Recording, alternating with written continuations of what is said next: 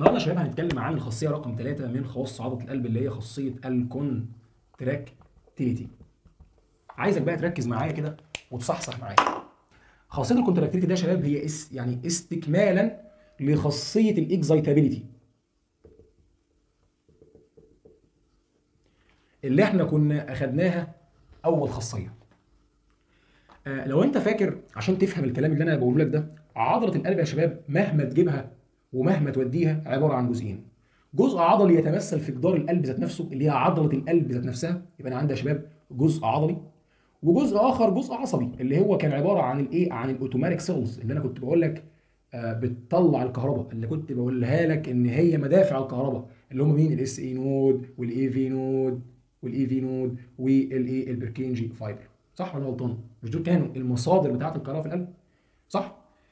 واللي أنا كنت بقول عليها ال automatic cells اللي هي الخلايا اللي بتشغل القلب يعني. والجزء ده الجزء العصبي ده يعتبر إحنا أخدناه في خاصية ال automaticity اللي هي الخاصية رقم 2 صح؟ ولا غلطان. اللي أنا نزلت عليها ثلاث فيديوهات. فالخاصية رقم 2 اللي هي الأوتوماتيسيتي كانت بتتكلم عن الجزء العصبي. الكهرباء بقى بتطلع إزاي ومش عارف والكلام ده. إنما الخاصية رقم واحد يا شباب اللي هي الإكزايتابيليتي بتقول لك اللي إحنا خدناها رقم واحد كانت بتحكي عن إيه اللي بيحصل في العضلة ده اهي بتاعة القلب. أول ما الكهرباء بتبدأ توصل لها من الأماكن اللي بتطلع الكهرباء أو الجزء العصبي يعني. صح ولا غلطان؟ وعرفت معايا إن أول ما الكهرباء توصل للجزء العضلي من, من القلب بيعمل حاجة اسمها action potential يعني الجزء العضلي ده يا شباب اللي وصل له الكهرباء ده عضلة القلب يعني الجدار بتاع القلب. أول ما وصل له القلب أول ما وصل له الكهرباء ماشي؟ عمل إيه؟ عمل action potential حصل ولا ما حصلش ال action potential ده بيساوي ال excitability اللي هي خاصية الايه ال excitability اللي إحنا اخدناها مع بعض. طب هو خلاص يا عم محمد عضله القلب دلوقتي بالصلاة على النبي اللي هي جدار القلب ده وصل لها الكهرباء. إيه المرحله اللي عليها الدور؟ هي مرحلة الانقباض. خلاص الكهرباء وصلت لي. وصلت أنا اتشحنت كهرباء. تعالى بقى يا دم خش جوايا عشان أنا هنقبض دلوقتي. يبقى الخاصية الثانية بعد ال excitability هي ال contractility أهو. ال contractility يعني عايز أقول لك إيه؟ عايز أوصل لك معلومة بسيطة جدا. ال contractility المفروض إن هي بعد ال excitation أو بعد ال excitability أو بعد ال action potential أول ما ال action potential يوصل ليه الكهرباء توصل ليه الجزء العضلي من القلب الجزء العضلي من القلب هو القلب يعني هيبدأ القلب ده يا شباب يعمل انقباض. عشان تفهم الكلام ده بمثال مضحك للغاية تعالى أفهمك القصة ماشية إزاي. ده حضرتك ده أنت وده أخوك أهو أخوك. وده يا باشا أبوك الأب الروحي للعائلة. الأب الحقيقي طبعا يعني الأب الفعلي يعني. آه ده أبوك وده أنت وده إيه أخوك. أنت وأخوك ما بينكم مشاكل على لبس العيد. ماسكين في بعض مين ياخد الطقم الأسود ومين ياخد الطقم الإيه مثلا الإيه؟ ها إيه طقم؟ ها يا الأزرق. المهم حضرتك جريت على أبوك على طول وعمال تديله في ودانه. عمال تشعل في بابا تشعل في بابا. تقول له بابا أنا عايز آخد الطقمين. يا أخي طمعك تشعل في بابا. فبابا ولع. فراح ماسك الشبشب وراح خبطه في أخوك. قال له بقول لك إيه؟ انت يالا؟ ولا ادي الطقمين لاخوك كده وروح عايد عند ننتك خلي ننتك تجيب لك طقم. يلا يا حبيبي. طرد أخوك من البيت. أخوك عمال يشعل فيه. هي نفس القصة بالظبط. آه اللي حصل يا عزيزي هنا مع أبوك إن أبوك استجاب ليك. وأبوك اتشعلل. وخبط الشبشب في أخوك وطرده من البيت. ده نفس اللي بيحصل بالظبط. الجزء العصبي الجزء العصبي بعت كهربته للجزء العضلي. كهربه كهربه كهربه. الجزء العضلي خلاص عايز يفضي اللي جواه عايز يفرغ الكهرباء دي فبيفرغها على هيئة إيه يا شباب كونتراكتيفيتي يوم ينقبض يوم يقول لك آه أنا كده ارتحت. زي أبوك بالظبط لما أخوك فضل يشعلل فيه. تمام؟ وراح طردك من البيت على طول. هي دي نفس القصة يا شباب. هي دي الرواية هي دي الكلام. يعني خد بالك أنا بحاول أفهمك الليلة ماشيه إزاي. تعال نمسح بقى الجزء ده كده والجزء ده يعني بس كده علشان نتكلم بقى في الكلام الجد. بص يا جميل. حضرتك انت اخدت في الاكزايتابيليتي صح؟ شكل الكهرباء. شكل إيه يا شباب الكهرباء أول ما بتوصل للخلايا بتاعه خلينا نرسمها تحت هنا خلينا نرسمها تحت هنا. أهي. اخدنا في ال excitability شكل الكهرباء. أول ما بتوصل للخلايا العضلية أو للجزء العضلي من القلب حصل ولا ما حصلش؟ كان شكل الكهرباء في الجزء العضلي خد بالك بالشكل ده مش إحنا اتكلمنا كده مع بعض في خاصية ال excitability كان بيبدأ من عند سالب 90 وكان بيطلع بال depolarization أهو ده كان depolarization يا محمد يعني ناحية الموجب. وبعد كده كان بينزل بال repolarization أهو ناحية تحت نازل ناحية تحت أهو. أهو repolarization بادئ من هنا وبعد كده بقى ينزل ناحية تحت أهو. صح كده يا شباب؟ طيب وبعدين؟ وبعد ما نزلت يا محمد لل rest أوصل لل rest تاني للراحه تاني. طبعا ده ال rest. آه ال rest برضه نزلت من ال rest. ده كان ال action potential في الجزء العضلي واللي أخدناه مع بعض زي ما قلت لك في مرحلة الإيه؟ ال excitation أو ال excitability. طيب تعالى بقى. طيب تعالى بقى عايز كده نتكلم مع بعض على حاجة مهمة قوي عم محمد مش دي النقطة دي كده؟ هي بداية دخول الكهرباء صح؟ مش وكأنك أنت دلوقتي بتقول دي الكهرباء فالقلب كده دخل له الكهرباء من هنا صح؟ يعني بدايه الكهرباء يعني لو جيت قلت لك ارسم لي منحنى لبداية انقباض القلب القلب خلاص وصل له الكهرباء فالمفروض إن هو إيه؟ هيخش في الكونتراكتيليتي صح كده؟ هيعمل انقباض حصل؟ فالانقباض بتاع القلب يا شباب هيبدأ من هنا. أهو هيبدأ من هنا كده أهو. حتى تلاقي المنحنى بتاع الانقباض عامل كده. بص بص طالع كده. ليه؟ ما أنت أنت طالع تشحن القلب. عضله القلب تشحن الكهرباء. والجزئية ده هي فلو أنتوا فاكرين خد بالك كان بيدخل فيها ايون مهم جدا لعملية الانقباض اللي هو ايون الكالسيوم. فتيجي تبص لل curve بتاعك اللي كان بادئ من هنا كده قصاد الحتة دي اللي كان بيدخل فيها الكالسيوم واللي كنا بنسميها البلاتو. فاكرينها؟ الحتة اللي كنا بنسميها شباب؟ البلاتو. كان بيدخل فيها ايون الكالسيوم. طب ما الكالسيوم ده مهم جدا للانقباض. اذا المنحنى بتاع الانقباض هتلاقيه طالع لفوق كده. أهو. يجي هنا أول ما الجزء ده كده يبدأ هنا كده تلاقي الإيه؟ المنحنى طلع معاك كده. صح؟ ومع نهاية الجزء المستقيم ده يا شباب كانت البوابات بتاعة الكالسيوم بتقفل. فهتلاقي ال curve ده شباب بدأ ينزل لتحت كده. حصل ولا ما حصلش؟ فعشان كده يا عزيزي بنقول إن الجزء ده هو من ال curve هو الانقباض. أو بيمثل الانقباض. والجزء ده من ال curve بيمثل الانبساط. بال English الانقباض يعني systole. ركز بقى معايا. والانبساط يعني diastole. طلع لي تعريف لل systole دلوقتي يلا وتعريف لل diastole. مع العلم أن قبل بس ما تطلع لي تعريف خد بالك المرحلة ده اسمها سمول repolarization مش إحنا اتفقنا ان الثلاث حتت دول يا شباب. اسمهم repolarization فاكرين؟ دي كان اسمها depolarization الحتة دي الثلاثه دول كده كان اسمهم repolarization الحتة دي كانت small repolarization والحتة دي كان اسمها البلاتو والحتة دي كان اسمها rapid rapid repolarization حصل؟ الثلاثه تاني تاني. الثلاثه دول على بعض كده كان اسمهم repolarization الحتة دي small repolarization دي بلاتو دي rapid repolarization طيب يلا بقى طلع لي تعريف ال systole وطلع تعريف ال diastole. يلا يا جميل. ال systole ده يا شباب هو بيبدأ هو ال contraction بتاع القلب خلاص؟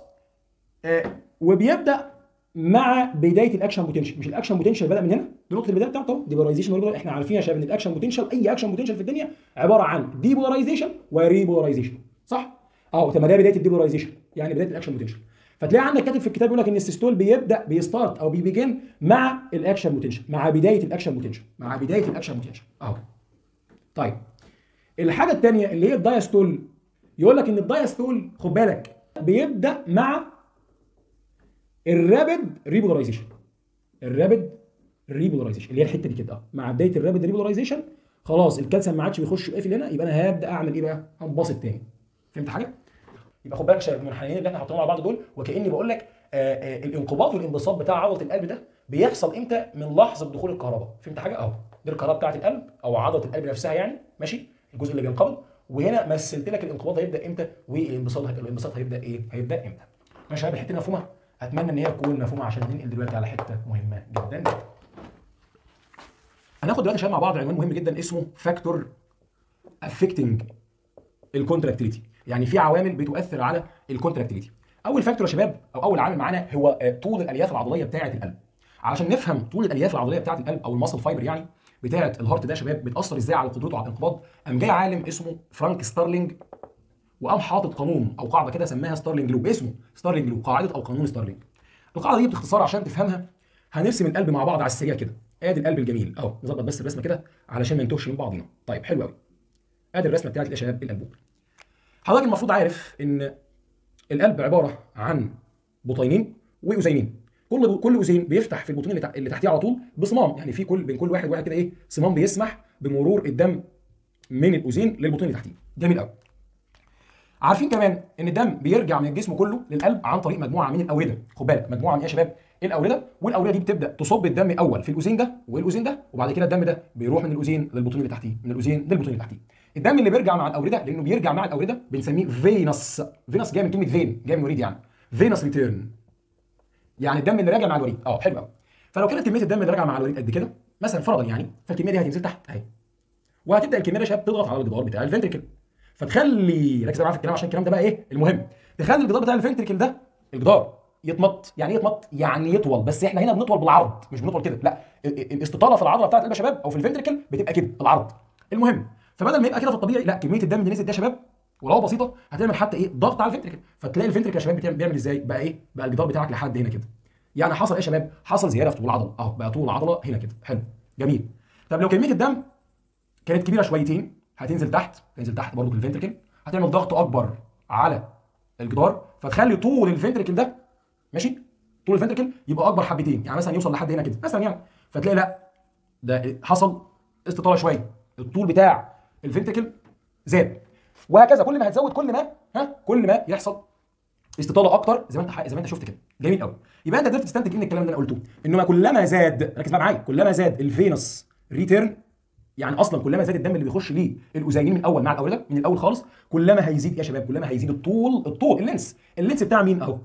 ال length of ال muscle fiber كلما زاد ال length بتاع ال muscle fiber كلما زاد الايه؟ طول طول الايه؟ الالياف العضليه بتاعه ال ventricle يعني يعني كل ما زاد من الآخر العضله يعني طول العضله زاد طيب حلو قوي. طيب اسالك بقى سؤال هنا. ايهما في الحالتين؟ يعني في الحالتين مش هحكم دلوقتي. يعني الحاله اللي كان فيها دم قليل وعمل الطول صغنطط ولا الحاله اللي كان فيها دم كبير وعمل الطول كبير شوية ايهما بقى؟ خد بالك ال- البطينين هينقبضوا بشكل اقوى. ايهما؟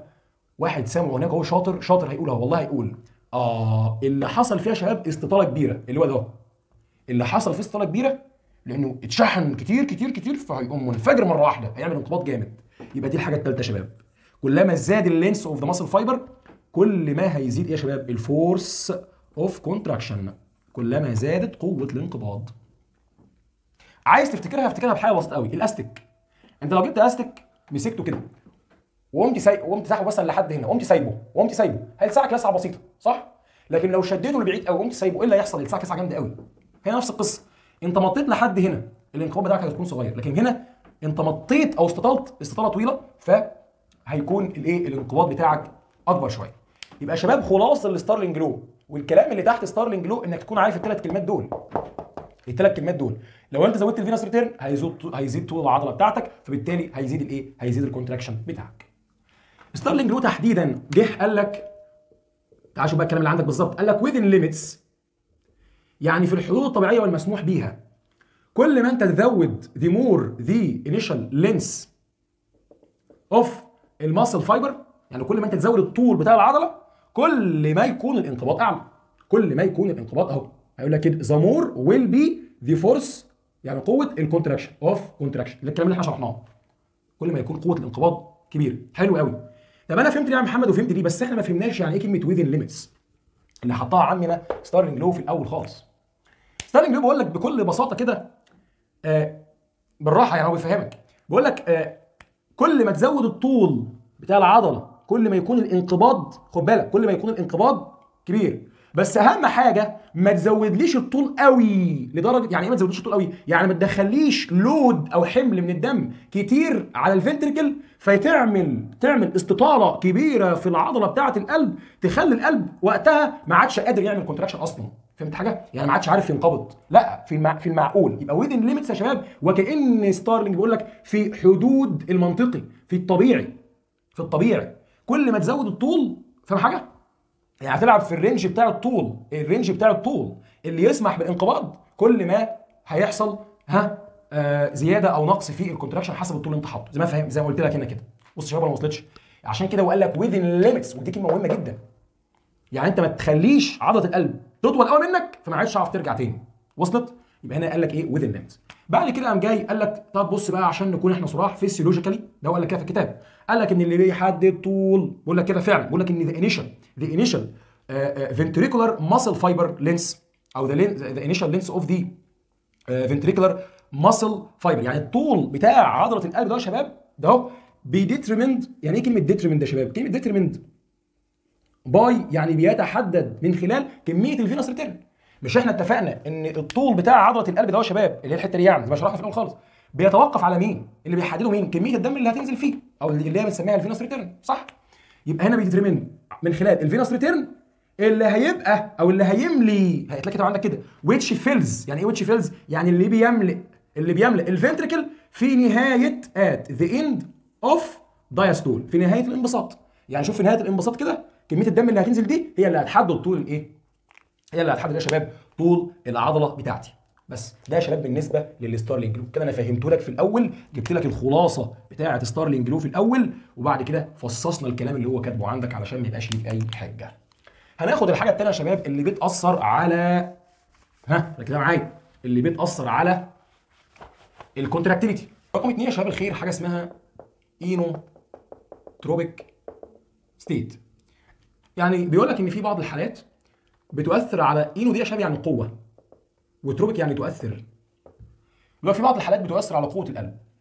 الحالات دي قد تؤثر على قوة القلب بالسالبية يعني بالسلب فبنسميها negative negative inotropic state يعني حاجات بتأثر على القلب بشكل سلبي فأكيد إن هي هتقلل من ال contractility بتاعته هتقلل من الانقباضية بتاعته.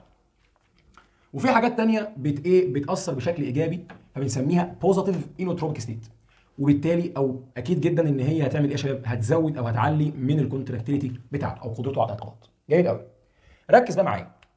أخدنا قبل كده يا شباب إن أنا عندي جزء في الجهاز العصبي اسمه الجهاز السمبثاوي وجزء آخر اسمه الجهاز الباراسمبثاوي. عرفت قبل كده إن السمبثاوي ده هو بيزود من كهربة القلب فاكرين؟ والجهاز الباراسمبثاوي ده كان بيقلل من كهربة القلب فاكرين الكلام ده؟ في الفيديو بتاع ال rhythmicity أو ال automaticity قلنا الكلام ده. فأنا واحد بزود من كهربة القلب وواحد بقلل من من كهربة القلب فأكيد هأثر على الانقباض. صح؟ ما هو بص شباب ما هي الكهرباء دي هي اللي هتخلينا ننقبض في الآخر. صح؟ فلما ازود كهرباء القلب مع السمباثيك وكأني بقول لك أنت هتزود في الآخر إيه؟ صح؟ ضربات القلب. ولما أقول لك مع الباراسمباثيك ده إن أنت هتقلل من إيه؟ من كهرباء القلب. يبقى في الآخر برضو أنت هتقلل من انقباض القلب. جميل. يبقى أنا هاخد السمباثيك ده من الآخر أكتبه هنا في الحاجات اللي بتزود. ها؟ ال contraction هكتب إيه؟ ال sympathetic nervous system على الجانب الآخر هكتب ال para ها؟ sympathetic nervous system جميل جدا ده رقم واحد. طب مين مين المواد الكيميائية أو الهرمونات اللي بتشتغل نفس الشغلانة؟ فاكرينها أنتوا؟ اللي إحنا اخدناها برضو اللي بتزود كهربه القلب وبتزود كهربه مين كان مين انجز أيوه شاطر سامعك. شاطر. حاجة اسمها يا شباب ال nor. أدرينالين صح؟ والجنب الثاني مادة كيميائية بتقلل من ضربات القلب أو من انقباض القلب هي إيه؟ ال acetylcholine. جميل جدا. رقم اثنين دلوقتي أنا عايز حاجة ثانية يا عم محمد تكون بتزود ضربات القلب. قال لك في دواء أو تعالى ناخد دي أول. حاجة اسمها ال xanthines. ال xanthines دي يا شباب زي مين؟ قال لك زي مادة الكافيين عشان تفهم بس أنا قصدي إيه. مادة الكافيين يا شباب اللي هي موجودة في القهوة أو ال theophylline اللي بيبقى حتى موجود في الشاي. ال theophylline ده موجود في الشاي. الحاجات دي أو المواد دي يا شباب بنسميها ال xanthines ال xanthine ال xanthines دول ماشي بيعلوا من ضربات القلب. بيعلوا من ضربات القلب. تعالى كده الواحد شارب قهوة لو مثلا مرة يشربها في حياته لكن أنا مش عارف أنا حاسس ان ضربات قلبي بدأت إيه حاسس بالخفقان بتاعها. آه يبقى هو اذا فعلا كافيين وال theophylline أو المواد اللي إحنا بنسميها ال xanthines دول بيعلوا من ضربات القلب. خلينا في الجمل عشان نخلص مرة واحدة وبعد كده نخش على الحاجات اللي بتقلل. رقم ثلاثة في يا شباب حاجة مهمة جدا لازم تفهمها. في دواء اسمه ال digitalis. ال digitalis ده بيعلي من ضربات القلب. اشمعنى من الآخر هو بيشتغل بطريقة ما كده بيخلي الكالسيوم اللي دخل جوه عضلة القلب ما يطلعش منها أو يطلع بنسب قليلة. خد بالك بيطلع بنسب قليلة. معنى كده إيه؟ معنى إن الكالسيوم يطلع من عضلة القلب بنسب قليلة أو يقلل من خروج الكالسيوم. معنى كده طب مش الكالسيوم ده بيخلي الانقباض بتاع القلب يبقى حلو؟ القلب محتاجه عشان ينقبض صح؟ فمعنى كده يا عم محمد الانقباض بتاع القلب فعلا هيبقى إيه؟ هيبقى عالي. يبقى ال digitalis بيمنع من خروج أو بيقلل من خروج الكالسيوم بطريقة ما مش هنشرحها قوي عشان عايز عايز الدروس دي. فبالتالي هيزود من الايه قوة الانقباض بتاع القلب. رقم أربعة يا شباب حاجة اسمها الجلوكاجون. آه، الجلوكاجون هرمون اللي هو هرمون الجلوكاجون آه، لو أنت فاكر ده كان هرمون بيطلع من البنكرياس وكان بيعمل على تحويل الجلايكوجين الموجود في الكبد يحوله لسكر في الدم. صح؟ فاكر الكلام ده يا شباب؟ أنا مش فاكره. فاكره صح؟ بيعمل على تحويل الجلايكوجين لما يكون السكر بتاعك قليل فيجي على مادة اسمها الجلايكوجين بتتخزن في الكبد يحولها تاني لجلوكوز لسكر.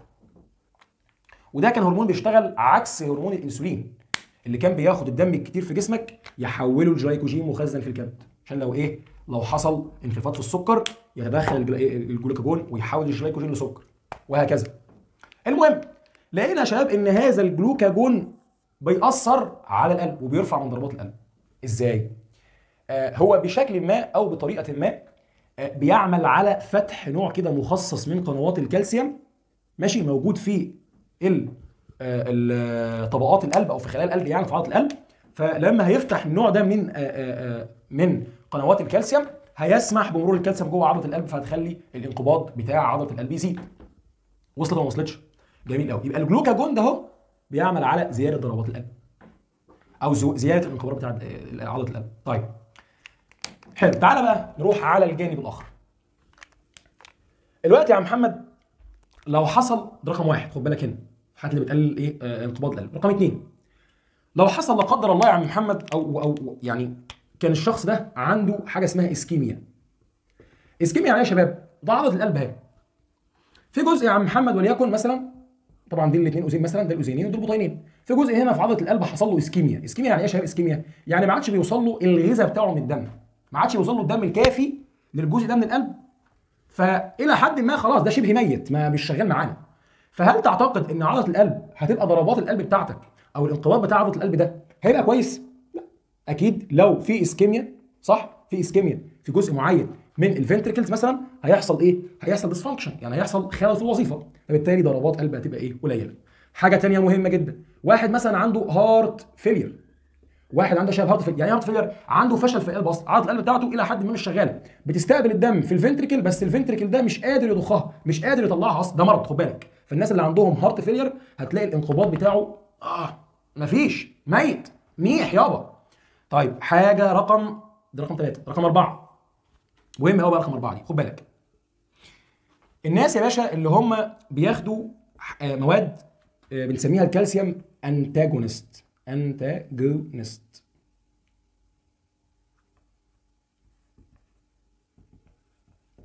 الكالسيوم antagonist يعني يا شباب في بعض المواد كده بتمنع من دخول الكالسيوم أو بتقفل قنوات الكالسيوم. طب ما الكالسيوم ده اللي كان بيساعد على الانقباض طب أنا منعت دخوله منعت دخوله. يبقى إيه؟ الانقباض بتاعك هيبقى إيه يا شباب؟ هيبقى إلى حد ما تعبان. نفس القصة هتلاقي كده عندك بعض المواد ال anesthetics ال anesthetics يعني إيه؟ يعني اللي هم آه المواد اللي هي بتخدر العيان اللي هو البنج. على فكرة بقى في بعض ال drugs أو بعض الأدوية اللي بتخدر العيان اللي بتخليه جامع عشان تعرف تعمل عملية وكده بت بتقلل من ضربات القلب بتقلل من انقباض القلب. فهمت حاجة؟ لأنها بتقفل بتقفل بتشتغل على الكالسيوم فبتقفل القنوات دي فبتقلل من انقباض القلب.